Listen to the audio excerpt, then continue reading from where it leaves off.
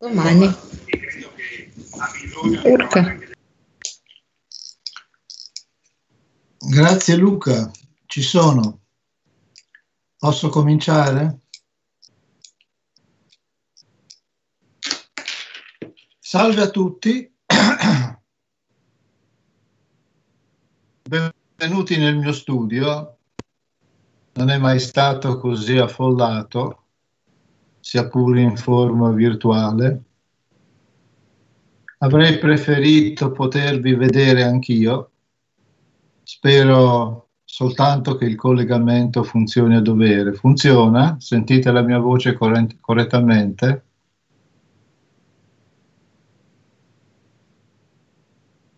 Sì, professore. Grazie Luca. Bene, Vorrei iniziare dandovi una buona notizia. Siamo vivi. Mi sembra importante di questi tempi. E una prova sono proprio queste letture filosofiche serali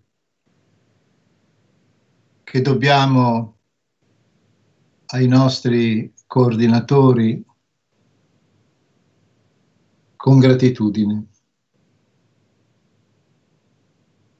Forse vi chiederete perché in un ciclo che si intitola Letture filosofiche e che quindi presuppone che si leggano pagine di filosofia,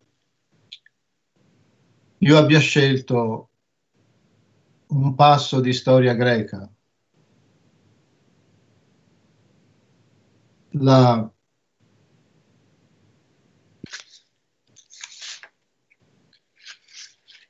la peste di Atene del 430-429 avanti.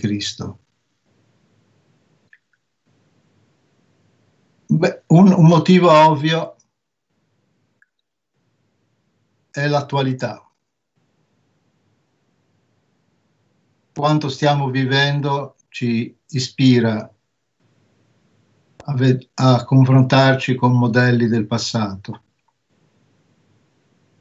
E la peste di Atene è per noi il primo esempio di una patologia collettiva di cui conosciamo, grazie allo storico ateniese Tucidide, i dettagli. Ma a parte l'attualità, c'è qualcosa, a mio avviso, di più interessante.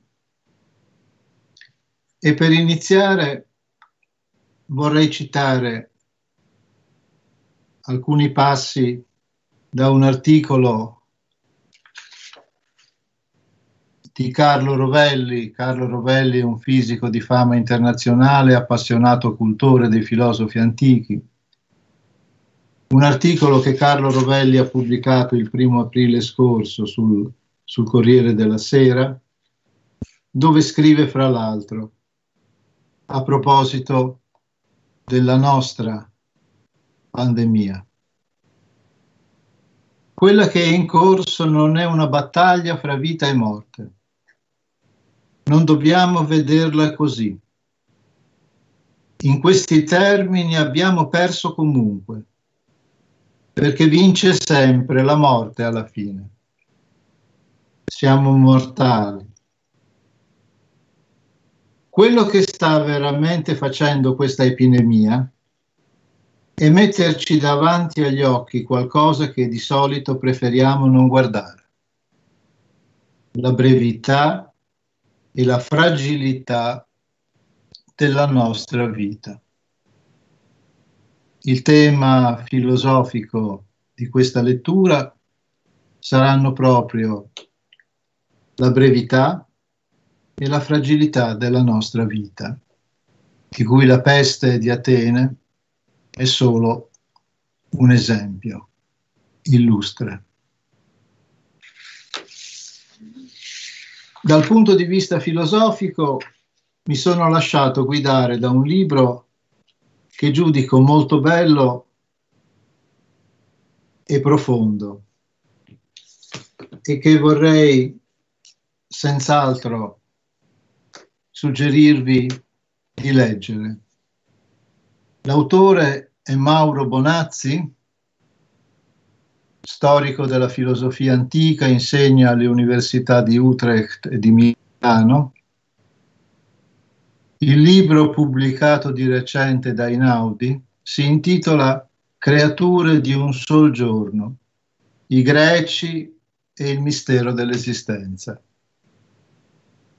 Il titolo Creature di un sol giorno allude appunto alla brevità della vita umana.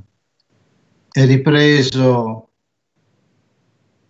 alcuni versi celebri di Pindaro della Pitica ottava che dicono Epameroi tidetis tidutis schiasonar anthropos epameroi, cioè creature di un sol giorno. Tidetis, chi è qualcuno? Tidutis, chi è nessuno? Schiasonar anthropos, sogno di un'ombra è l'uomo. Ma accanto alla brevità la, fragi- la fragilità. il fatto di essere esposti e vulnerabili alla natura, alla sorte, al destino o agli dei capricciosi. Spinoza riteneva che la filosofia antica fosse stata una meditazione della morte, si doveva invece meditare la vita non una meditatio mortis, ma una meditatio vite. Attraverso il libro di Mauro Bonazzi, credo vedremo come per i filosofi antichi in realtà la meditatio mortis è parte integrante della meditatio vite. Il libro di Mauro Bonazzi ci permette di leggere alcune delle pagine più suggestive dei filosofi antichi e sicuramente è di grande interesse anche per chi non è particolarmente interessato alla filosofia antica. Vi leggerò alcuni passi dal libro di Mauro Bonazzi per illustrare il problema soggiacente a eventi come la, come la peste di Atene, della brevità e fragilità delle creature di un sol giorno. Scrive Bonazzi, parlare di esseri effimeri, di creature di un sol giorno, vuol dire mettere al centro di tutto il problema fondamentale, la morte appunto. Il problema non è che moriremo, questo è un fatto scontato. Rovelli direbbe la morte comunque prevarrà. Il problema è che la morte rischia di togliere valore e significato a tutto quello che siamo e che facciamo. Il problema della morte riguarda prima di tutto la vita. In questo senso la, la meditatio mortis è una meditatio vite. Qual è il senso dell'esistenza umana?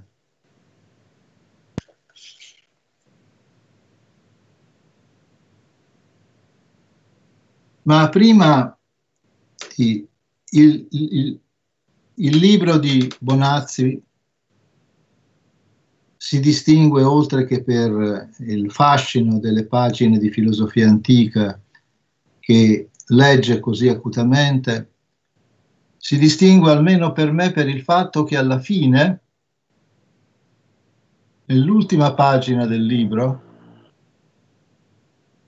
ci dà la soluzione del mistero dell'esistenza umana, almeno quella che cogliamo attraverso i testi antichi.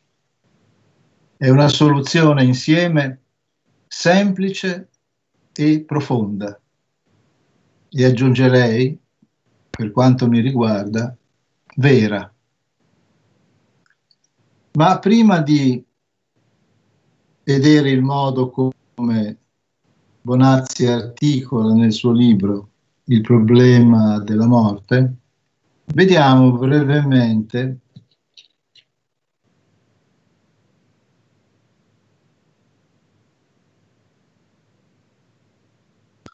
Vediamo, scusate, vediamo brevemente che cos'è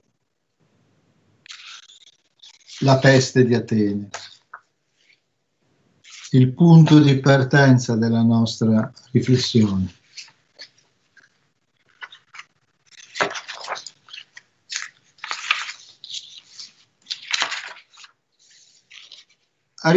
Tucidide descrive la peste di Atene del 430-429 a.C., nel secondo libro della guerra del Peloponneso, ai capitoli 47-54. È un testo celebre nell'antichità. Lucrezio lo parafraserà alla fine del Dererum Natura, considerandolo un documento di scienza. In effetti, quello che Tucidide fa in queste pagine è di dare quello che noi chiameremo un quadro clinico della malattia o pestilenza dell'oimos che attanaglia Atene. Un quadro clinico dove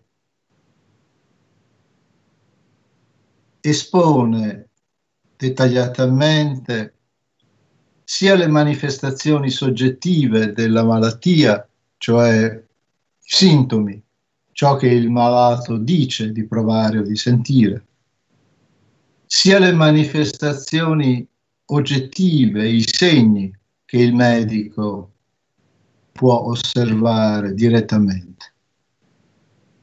E a conclusione di questo resoconto clinico, Tucidide individua due aspetti della malattia, quelli che considera i più terribili Tadeinotata. Da un lato l'aspetto psicologico, la afimia, lo scoraggiamento che prende chi si ammala, insieme all'enelpiston, alla disperazione. E dall'altro lato il contagio, il fatto che la malattia misteriosamente colpisca per contagio. Dopo aver delineato il quadro clinico e i due aspetti più terribili della malattia, Tucidide racco- ne espone le conseguenze per la vita comune, le conseguenze sociali, e morali. Vengono meno in città, vengono meno in Atene le pratiche funerarie consuetudinarie. I cadaveri restano insepolti o vengono bruciati su pire anonime. È un'immagine tragica. E l'altro aspetto del, della disgregazione sociale e morale della città in preda alla pestilenza. L'altro aspetto è quella che Tucidide chiama anomia, l'illegalità. Sentendosi addosso già una condanna, i, i cittadini di Atene si danno a pratiche che sovvertono le leggi fino allora vigenti. La sola triste certezza è quella della morte, è stato scritto, di fronte alla quale qualunque altra regola perde valore e di fatto viene impunemente trasgredita. La sola triste certezza è quella della morte. Questo in breve il contenuto dei capitoli dedicati alla peste di Atene. Bonazzi nel suo libro non parla della peste di Atene. Mi sono interrogato molto sul perché non faccia mai riferimento né a Tucidide né a Lucrezio a proposito della pestilenza. Quello che Bonazzi invece esamina con, con attenzione è un altro testo di Tucidide, è in realtà ciò che immediatamente precede i capitoli sulla peste. La peste esplode nell'estate del 430 a.C. Nell'inverno precedente, Pericle era stato chiamato a tenere l'epitafio, l'orazione funebre per i caduti del primo anno di guerra. Anche qui siamo di fronte al problema della morte, ma è qualcosa di radicalmente diverso dalle pagine della peste. Tucidide passa dall'epitafio di Pericle alla peste di Atene senza apparentemente rilevare questo contrasto. È un passaggio che dà da pensare. Ma che cos'è la morte? Qual è il problema della morte nel caso dell'epitafio di Pericle? Qui non siamo di fronte alla morte per malattia. Qui siamo, Qui siamo di fronte, Qui siamo di fronte a quella che gli antichi chiamavano la bella morte, la morte eroica in battaglia. Pericle è chiamato a celebrare i cittadini caduti per Atene nel primo anno di guerra. E Bonazzi fa un esame attento di questa orazione. È un testo bellissimo ancora secondo libro sto- della, storia, del, della guerra del Peloponneso, i capitoli 35 46.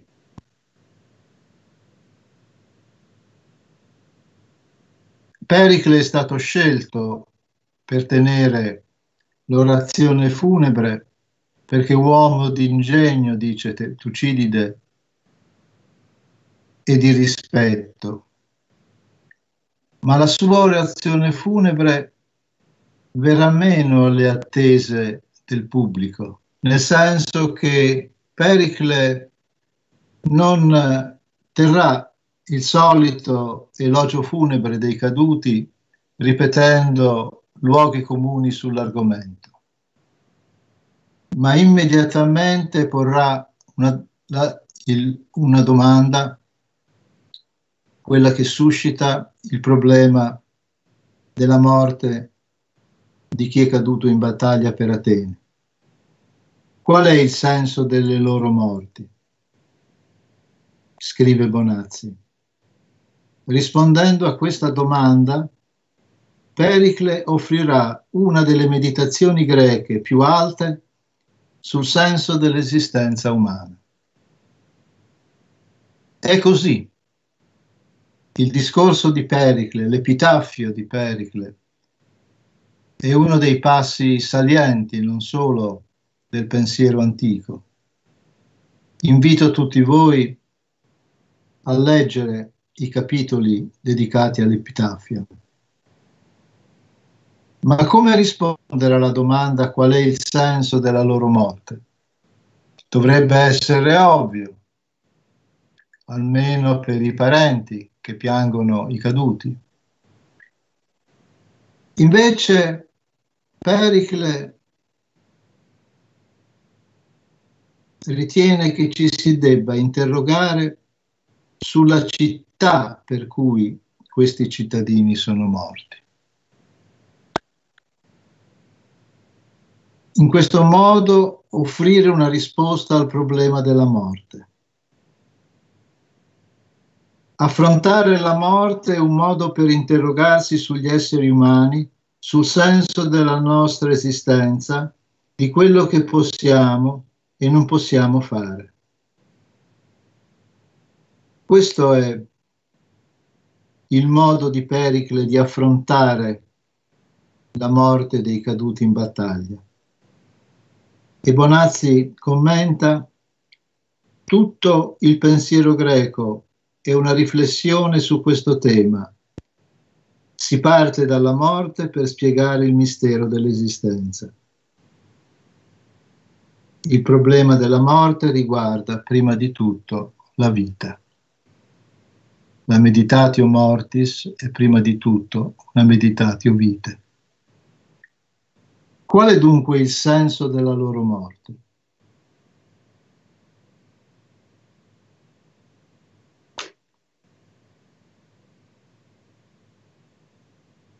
Il senso della loro morte, ciò che giustifica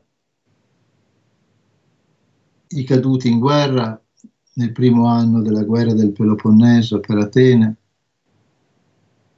è la città di Atene. Una giustificazione sufficiente per il sacrificio di chi è morto combattendo per lei. Atene non è solo una città. Atene per Pericle è un progetto, è la parte più avanzata dell'umanità. Atene è la democrazia, il governo della maggioranza.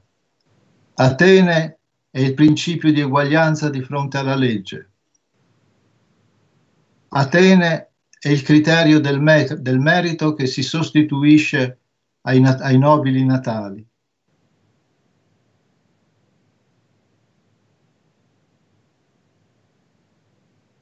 Non abbiamo bisogno, dice Pericle, di un Omero che canti le nostre gesta. Le nostre realizzazioni sono dimostrate dai fatti, sono monumenti eterni. In realtà la più nobile delle sepolture è la memoria della città. Atene è la città per cui è si è giustificati a dare la vita.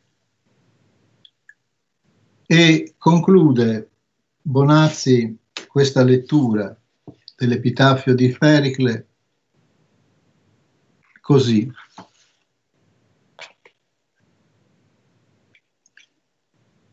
Partito da una condizione di solitudine e isolamento, Pericle ha progressivamente ampliato i confini di ciò a cui dava voce, arrivando a parlare a nome dell'umanità intera.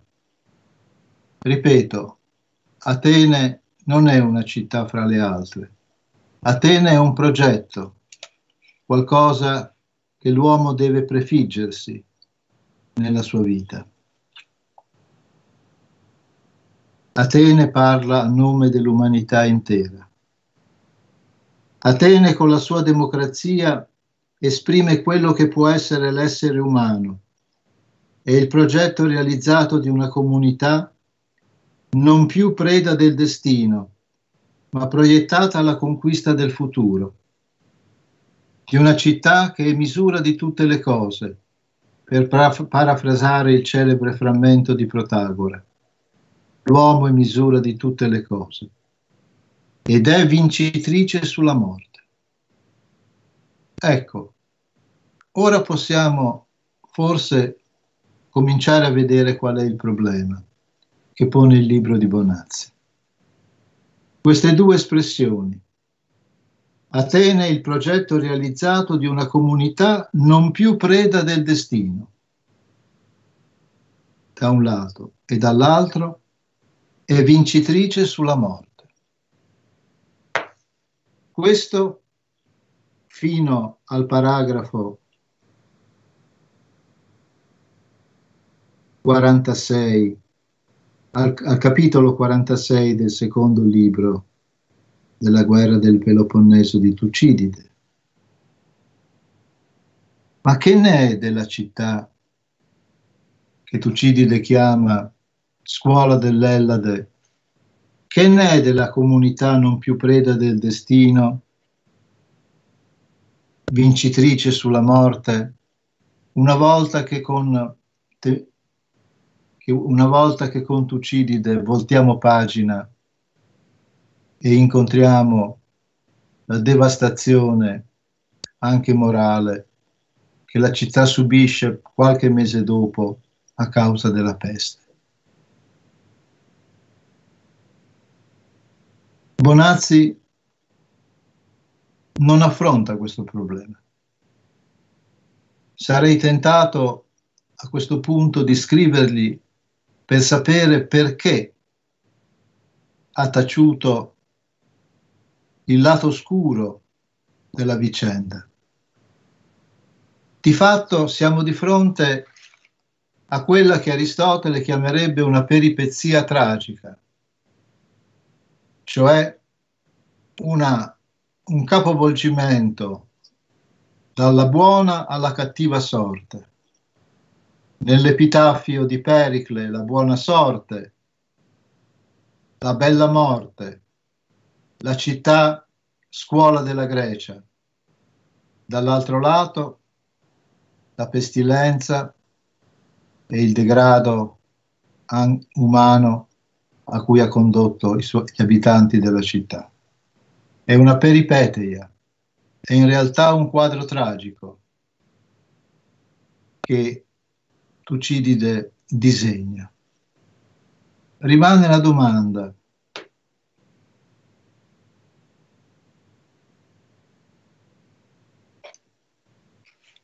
che cosa fare di, questa, di questo scenario tragico di questa peripezia.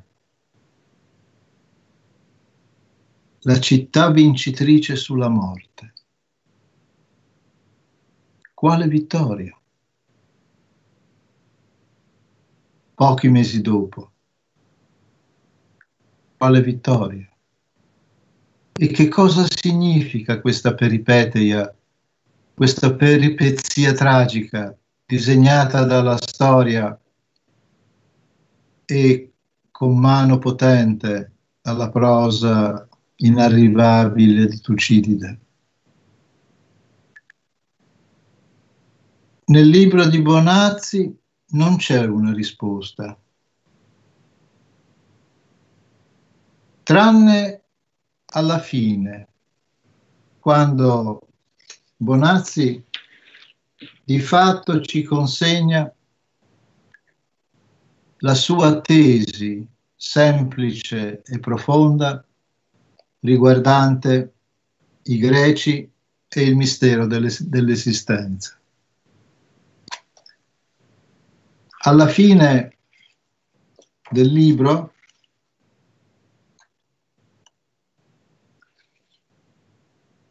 Bonazzi rievoca le grandi filosofie della Grecia il fatto che grandi filosofi hanno preso a modello il divino, ciò che è immortale. Platone, con la sua dottrina dell'immortalità dell'anima razionale. Aristotele, con l'invito a non limitarsi ad avere pensieri umani come suggerito dai poeti, ma per quanto possibile athanatizei, rendersi immortale, almeno nella parte divina dell'uomo, il suo intelletto. E finalmente Epicuro, per il quale chi segua la sua, e- la sua etica vivrà host theos anthropois, come un Dio fra gli uomini. Dunque noi vogliamo essere immortali e felici come gli dei? È questo che veramente vogliamo? Secondo i grandi filosofi del passato, questo rendersi simile alla divinità, immortali e felici, sembra essere ciò che desideriamo.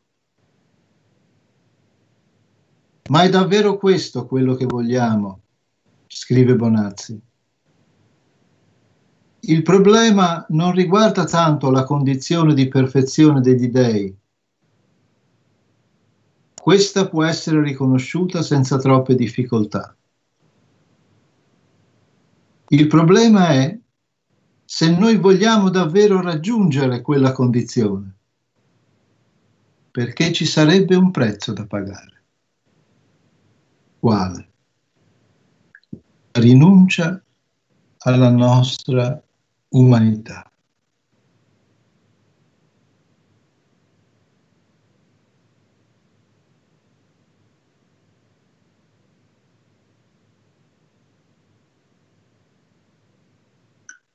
Non ha senso, continua, rifiutare la paura della morte, non perché la morte sia un bene, ma perché la morte è costitutiva di ciò che siamo. Qui arriviamo alla tesi cruciale. La morte è costitutiva di ciò che siamo. Non è una condizione ideale, ma è la nostra condizione di esseri imperfetti, mancanti. E così per un rovesciamento inaspettato la morte non è più quell'evento che toglie senso a tutto ciò che facciamo. Al contrario, essa appare ora bella e preziosa, proprio perché fragile. Bella e preziosa proprio perché fragile. Ciò che rende bella e preziosa la nostra esistenza è la sua fragilità, la sua vulnerabilità. Ogni istante, ogni momento sottratto alla morte e all'oblio dà valore alla nostra esistenza. È un istante prezioso. Senza la morte non ci sarebbe la bellezza della vita. Questa tesi mi pare semplice e profonda. Avevo iniziato citando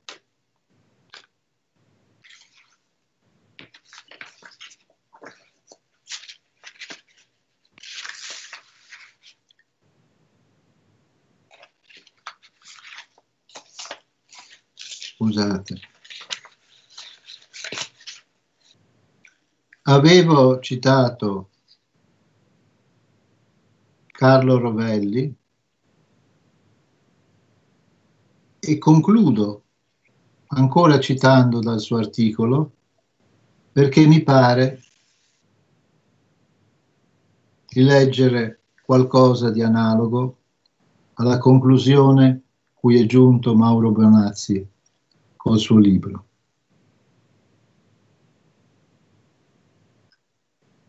Non siamo, scrive Rovelli, padroni di tutto. Non siamo immortali. Siamo, come siamo sempre stati, foglie che il vento d'autunno spazza via. Cerchiamo di allungarla questa vita. Combattiamo insieme con tutte le nostre forze. Questo stiamo facendo tutti insieme ed è una bellissima battaglia. Ma è questo ciò che stiamo facendo non combattendo contro la morte. Stiamo regalandoci un po' di vita in più, perché la vita è bellissima e viverla è ciò a cui diamo più valore. Ripeto, per Bonazzi come per Carlo Rovelli, ciò che dà valore alla vita è proprio la sua fragilità. Un po' di vita in più, scrive Rovelli, un po' di vita in più. Ma senza la morte, senza la peste, non avremmo Atene, non avremmo la scuola dell'Ellade, non avremmo la cultura. Quella cosa, secondo la definizione di Albert Camus, l'autore del libro La peste, la cultura è il grido degli uomini di fronte al loro destino, che è un destino di morte leggendo l'epitafio di Pericle sia la peste, la peste di Atene, mi pare di ascoltare quel grido degli uomini di fronte al loro destino di morte.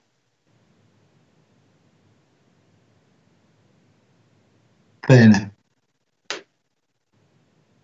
vedo che mi sono dilungato più di quanto dovevo. Avrei voluto farvi ascoltare a questo punto come intermezzo, un intermezzo musicale, una splendida canzone greca di Angelique Ionatos. Invece vi leggerò le pagine di Tucidide dedicate alla peste di Atene. Io sarò semplicemente la voce dello storico ateniese, spero che la mia voce sia all'altezza, ovviamente filtrata da una traduzione italiana che è quella di Franco Ferrari per Burr del 1985. Ma difficilmente una traduzione di Tucidide riesce a rendere la potenza della sua prosa, con cui può gareggiare solo la prosa di Platone. Giudicherete voi, io non commenterò.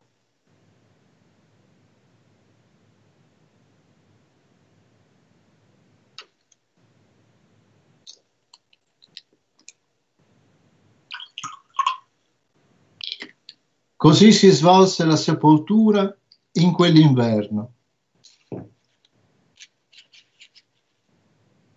E quando fu trascorso, finì il primo anno di questa guerra. Subito all'inizio dell'estate, i Peloponnesi e gli alleati, con un contingente composto dei due terzi di loro, come prima invasero l'Attica al comando di Archidamo di Zeuxidamo, re dei Lacedemoni, e accampatisi devastarono la terra.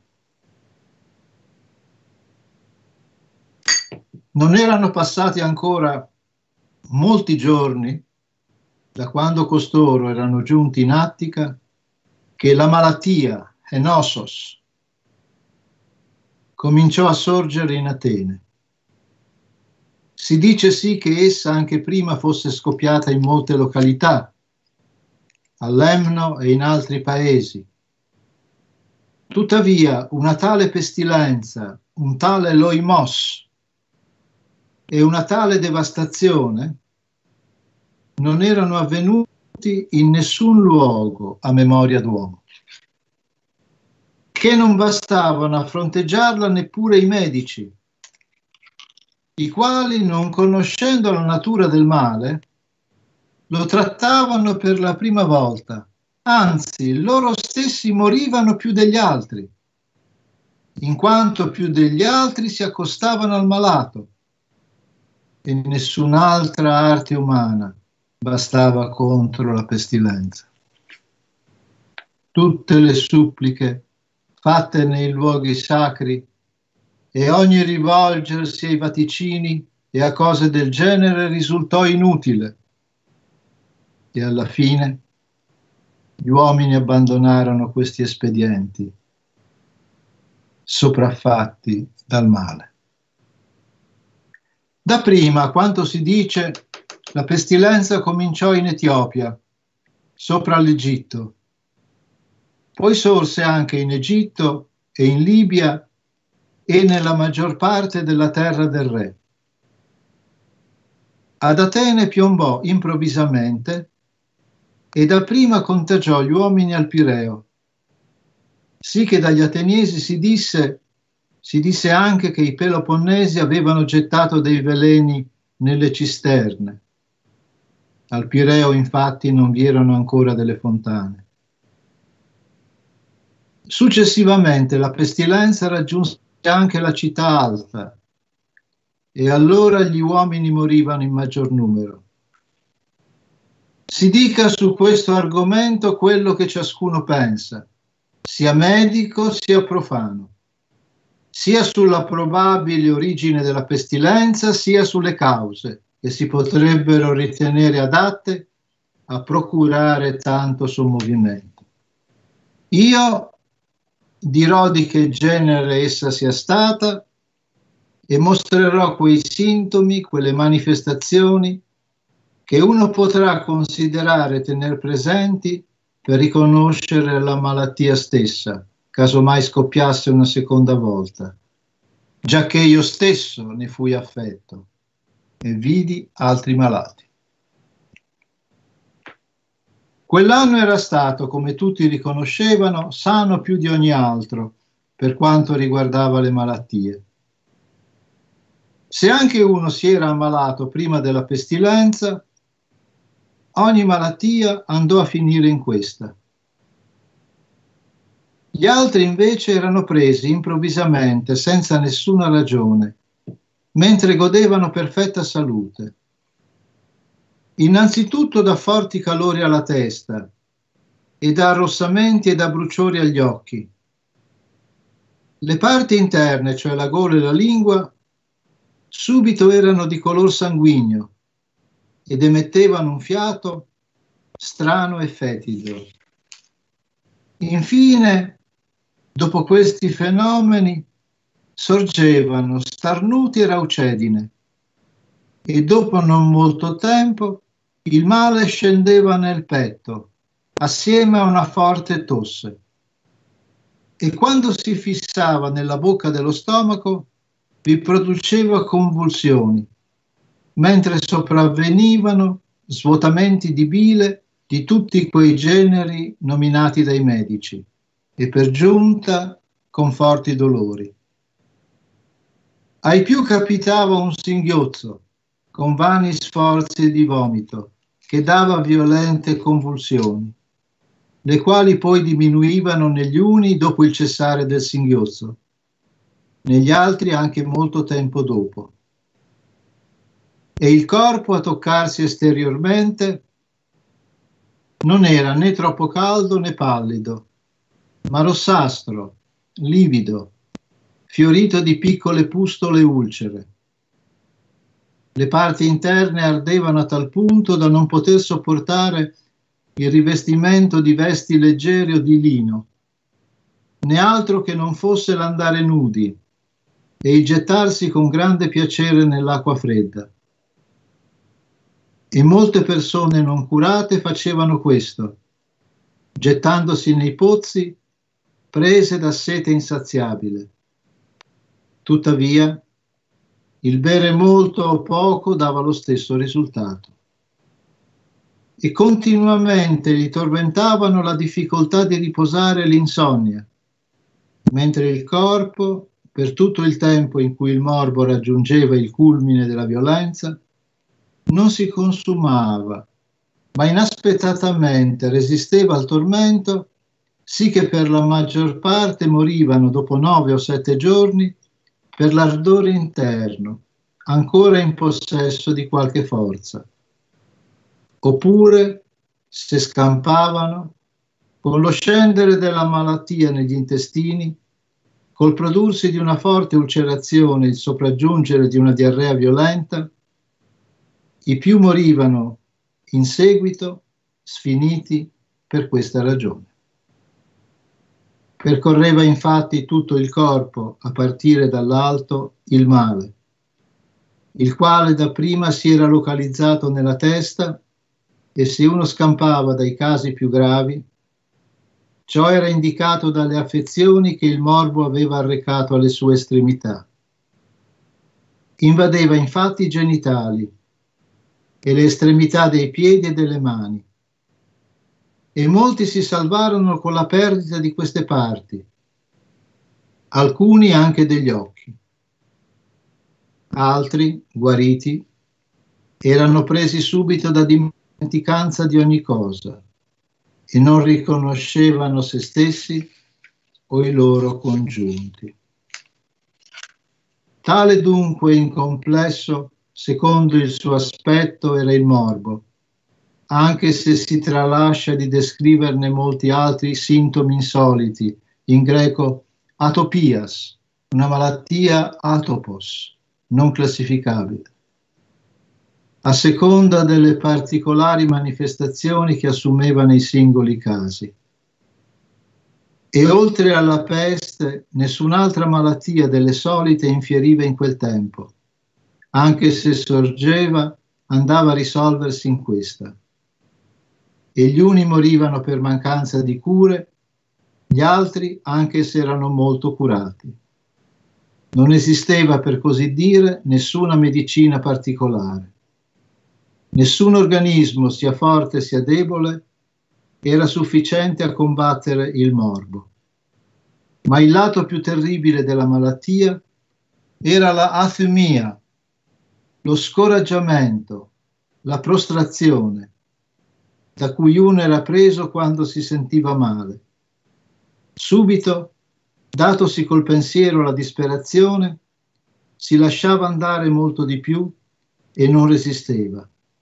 E insieme alla afiumia, il fatto che per curarsi a vicenda si contagiavano e morivano l'uno dopo l'altro, come le pecore. E questo causava la strada maggiore, la strage maggiore. Se per timore non volevano recarsi l'uno dall'altro, morivano abbandonati e in molte, in molte case furono spopolate per mancanza di uno che prestasse le cure necessarie. Se si accostavano alle persone, morivano e soprattutto coloro che ci tenevano a un agire meritevole, per vergogna infatti costoro non si risparmiavano, ma si recavano dai loro amici, poiché anche il compianto su chi era morto alla fine era trascurato, per stanchezza, persino dai familiari, sopraffatti dall'immensità della sciagura.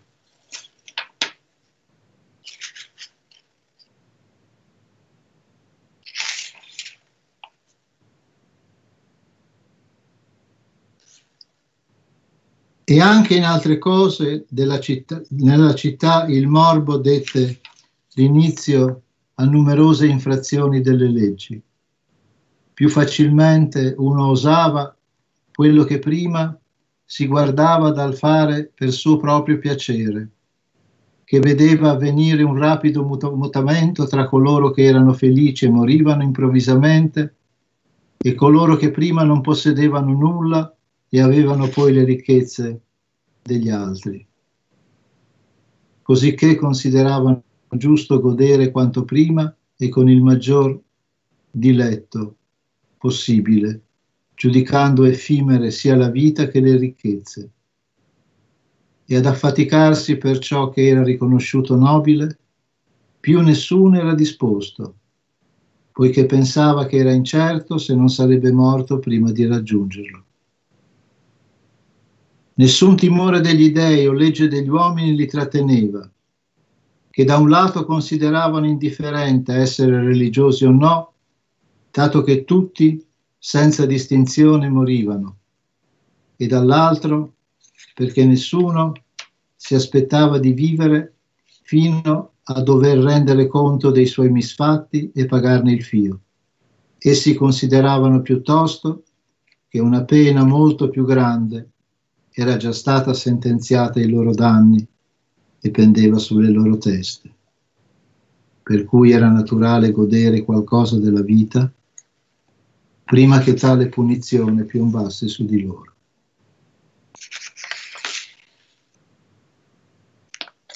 Questi dunque gli avvenimenti riguardanti la pestilenza. Tautamen, takatate no, son genome. Grazie e siate forti. Buona serata.